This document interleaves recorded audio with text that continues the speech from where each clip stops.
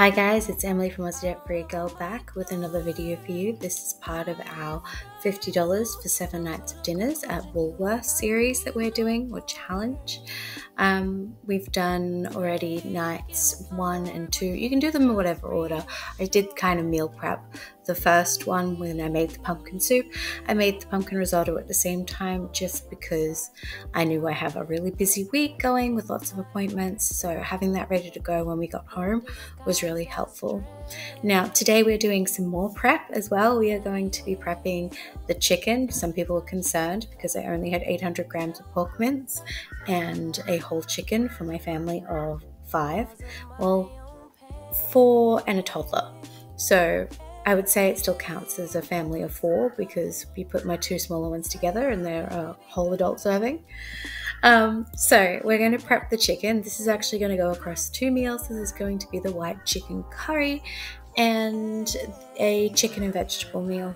Um, I did end up having what I thought was too much chicken for the chicken and vegetables, so I took some away and put it to the white chicken chili. Although the white chicken chili, you can probably use a lot less chicken. I usually only use a single chicken breast to make a whole batch for us because it goes so far, and because the white chicken chili is a high protein meal in itself because it has a whole packet of cream cheese, it has um, like I think it's a couple of cups of white beans, and it ends up being quite a nutritious and high protein meal with just a single chicken breast. I do probably regret that in the end looking back. I took one of the thighs away, two of the thighs away, and put them in the white chicken chili container or packet, where I should have probably left them for just a little bit more chicken. Although we did have a bit left over because my daughter isn't a huge fan of protein in the evenings. So we try and get her protein intake done in her breakfast and in her lunches and afternoon tea. So, yeah, fair warning on that. Uh, if you do not like seeing uh, meat or seeing people touch meat, I'm very sorry. That's what a lot of the first part of this video is going to be. And no, I did not do this in a very good way. Um, I was trying to rush and get a whole bunch of stuff done at once. I was using my kitchen scissors, which were blunt because I think somebody stole them to do some arts and crafts at some point. So I have to get hubby to sharpen those. But generally, what I do when I'm butchering up a chicken like this for its parts, so occasionally I will cut out the backbone, take off the legs and thighs, take off the wings, take off the breasts, and then um, any like scraps, and then boil the bones for the stock. Um, or this time I literally took everything off and pulled all of the meat off of all of the bones, put all the bones into a container or into a pot and cooked that on the stove. And that became my chicken stock, which you saw or will see in my videos. Um, Emily from the future, we have kind of paused the com- uh, competition, the um, challenge a bit because I actually broke a couple of toes. We've had back to back appointments and standing on my feet for a long time with my sore toes and foot. There may be something wrong with the small bone in the top of my foot. They're not exactly sure, but basically, I've had to pause, so all of that's in the freezer. Actually, speaking about chicken, this week as I'm recording this, they actually have chicken even cheaper at $4 a kilo, and I've even seen it as low as $2.50 once. Whole chickens are such a good way to save money. My rule is anything under $5, but if it's $4 or under, I will stock up and grab two or grab one every single week. And whether they just go directly into the freezer until I need them. Um, it's especially good on weeks where we don't have a lot of money that I can go into the freezer and just pull out a chicken. I basically shop in my freezer, which you've seen those videos on here before if you've been around for a while.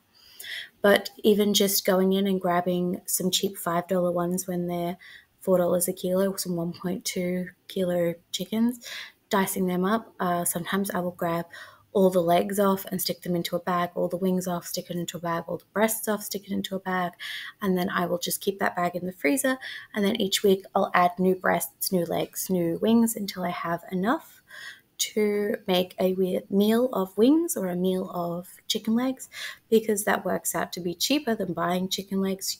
One, usually, and two, they're larger and I know where they've been like come from. I've had a few too many uh, issues with buying those two kilo bags of drumsticks from the shops.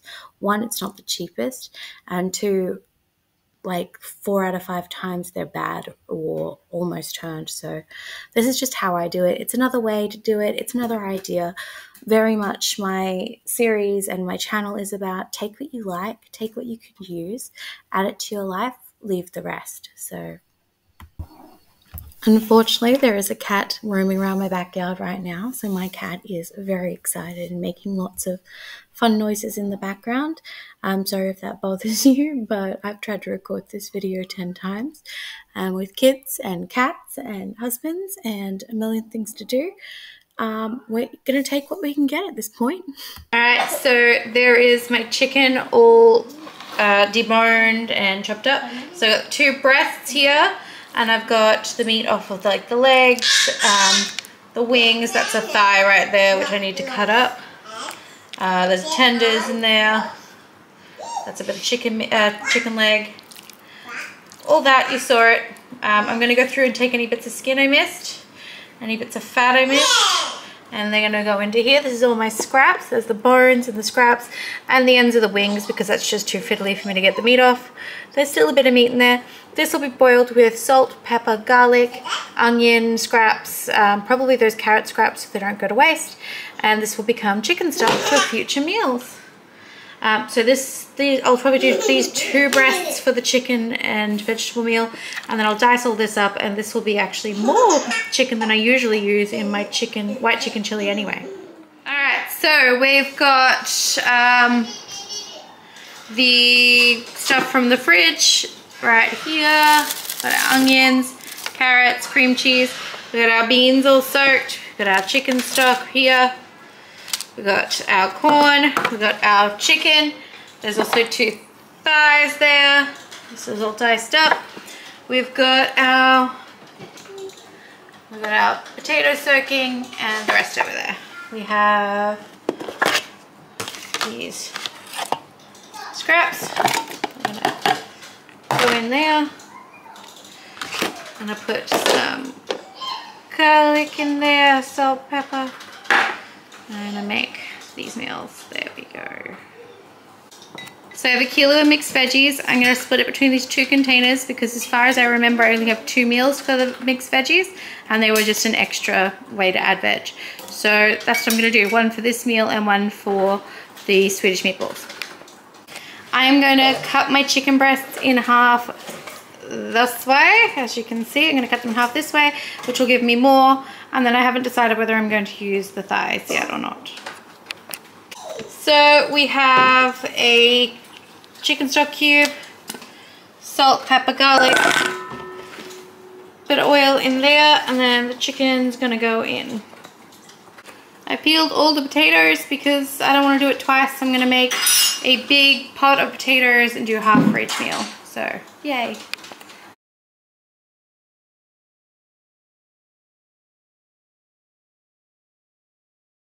So I forgot I was meant to be making a potato and leek soup or potato and onion soup to turn into sauce for the chicken. But I grabbed out a few potatoes. Um, so I'm gonna do that really quickly in the Thermomix and yeah, stay tuned for that. So I've got, I don't know, a tablespoon of garlic and an onion. I'm gonna blitz that up, saute it, and then I'm gonna add chicken stock to the bottom, potatoes, onions, cook that, and then blitz it up into a soup with salt and pepper. Since it's here, since it's hot, and also to save my stock cubes for other things, I'm going to just use the stock that I have boiling on the stove in my potato and leek soup, and then I'll just top it up with water to keep boiling.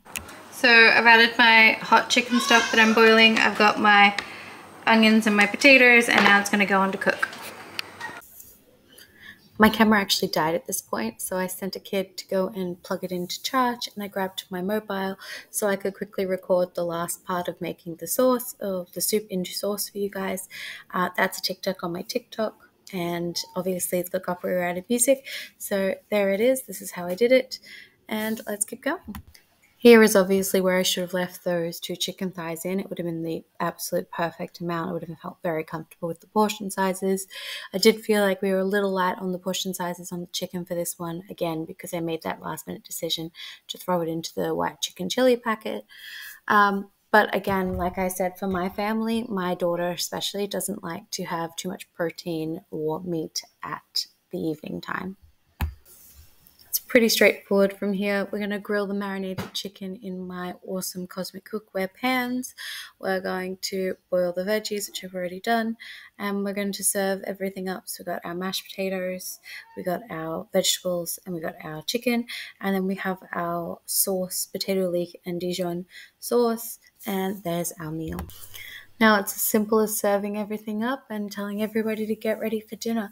That stock will continue uh, going on the stove for the next couple of hours while I'm awake, while I clean the kitchen, while I put everything away. And sometimes I leave it overnight, depending, um, but I'm probably going to put it away tonight just because I don't want to leave it out and going while the kids might get up in the middle of the night or something. Um, I've left it on overnight in the slow cooker as well, uh, but I don't want to clean that.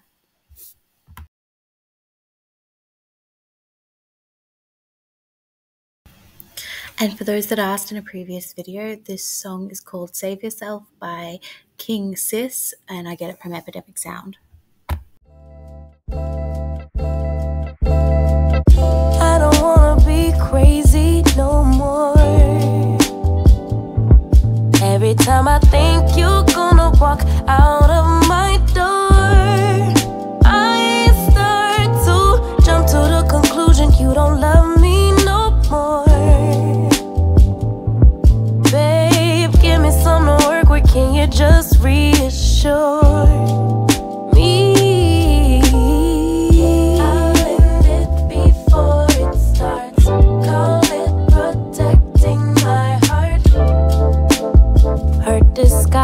Strength.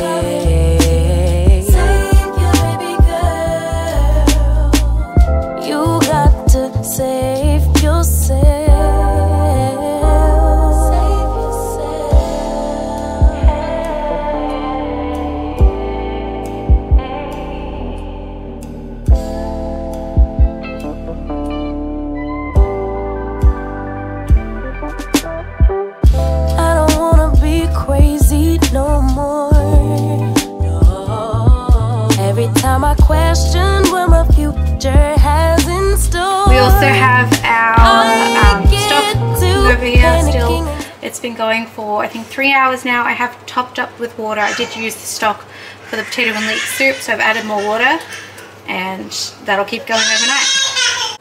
The kids are yelling in the background. You're gonna hear it, it is what it is. Leftover, we have mashed potatoes. We have potato and leek soup. There's probably two bowls there, maybe one and a half. That'll be leftovers.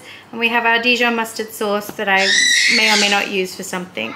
We also have, excuse the dirty floor, we also have uh, stock going over here. It's been going for about three hours. I have topped it up with water. I used the stock to make the potato and leek soup to save my stock cubes. I'm going to top it up with some more water and turn it down before I go to bed. Hey, you got to save yourself.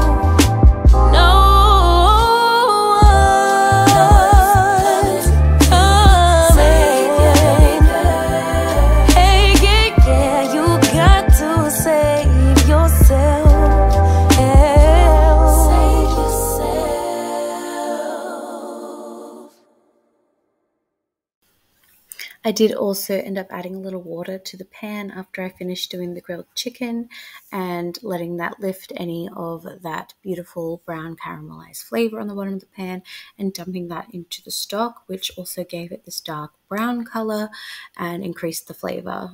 Really, all these little things add up to big flavor, which means you need less seasoning, which means you need less ingredients, which makes better tasting food.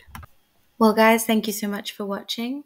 Don't forget to like, comment, and subscribe. Click the notification bell to be notified when I post new videos, and I will catch you in the next video.